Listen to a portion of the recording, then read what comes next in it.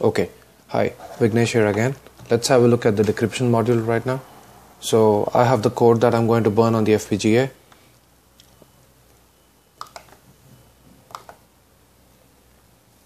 Yeah, we have the code ready now, so I'm going to toggle the switches so that I can assign mm, apt signals for the input ready and the data ready. So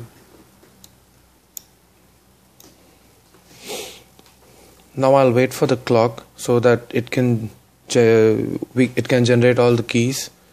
And when it does we'll have a LED that will glow up indicating that the input is ready. So let me do it.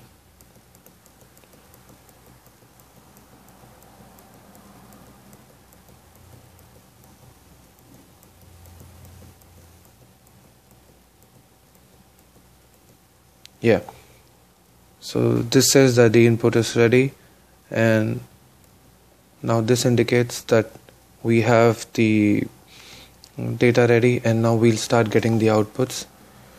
Mm, all we have to do is just toggle. So the desired output that we are looking at is of the format of 0011223344 you know and goes on till EEFF so we can toggle it and we can see that you know we have the outputs here so that's the least significant bits of the output 0011 and then 2233 4455 6677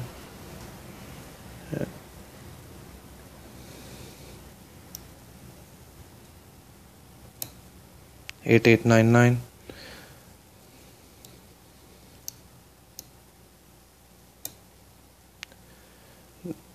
and in in the same manner if we keep toggling it we reach the most significant bit that is EEFF that's the output we are looking at.